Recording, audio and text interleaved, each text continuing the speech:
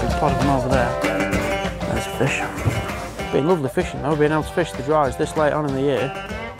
Yeah, that was to me. Same fly again, that little smutty one. Nice little fish. They're coming this way. That was uh, very considerate of them. See if we can. No, hang on.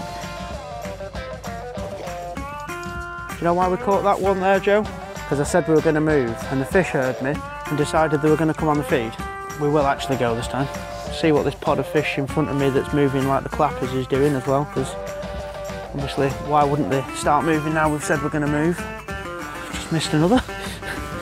Um, head down towards the dam, give it a go down there. Um, there was fish moving there earlier, just gonna try. Oh, look at that. Lovely markings.